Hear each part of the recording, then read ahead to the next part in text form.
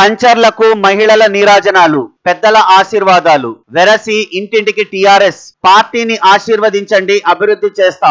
Nalgonda TRS శాసనసభ అభ్యర్థి కంచర్ల భూపాల్ రెడ్డి పాదయాత్ర. తొమ్మిదవ రోజు గురువారం ఇరవై ఇరవై మూడు వార్డులలో ఆనంద్ నగర్ నుండి స్థానిక నాయకులు నిరంజన్ వలి కత్తుల రమేష్ కత్తుల జగదీశ్వర్ కత్తుల యాదయ్య కత్తుల సంజీవ కౌసర్ బేగం అఖ్తర్ భాను జ్యోతి ఆధ్వర్యంలో ఘన స్వాగతం మధ్య ప్రారంభమైంది. ఇంటింటికి తిరిగి ఇరవై ఇరవై మూడవ వార్డులలో ఓటర్లను కారు గుర్తుపై ఓటు వేసి గెలిపించాలని అభ్యర్థించారు. ఈ ప్రచారంలో ఐసిడిఎస్ ఆర్గనైజర్ మాలే శరణ్యారెడ్డి ఎంఐఎం జిల్లా అధ్యక్షులు అహ్మద్ కలీం అస్గర్ టౌన్ అధ్యక్షులు అబ్బగోని రమేష్ బోయినపల్లి కృష్ణారెడ్డి అనీస్ మొకద్దర్ సలీం అభిమన్యు శ్రీనివాస్ రహీం ఖాన్ తూము రవీందర్ రావు మందడి మధుసూదన్ రెడ్డి కౌన్సిలర్లు దుబ్బా అశోక్ సుందర్ ఎడ్ల సీను ప్రదీప్ నాయక్ బొంత శ్రీను తక్కెళ్ళ అశోక్ యుగంధర్ రెడ్డి టెంపుల్ చైర్మన్ శ్రీనివాస్ మాజీ జెడ్పీటీసీ యాదయ్య ఆంజనేయులు హన్ను గడ్డం శ్రీనివాస్ రెడ్డి జయమ్మ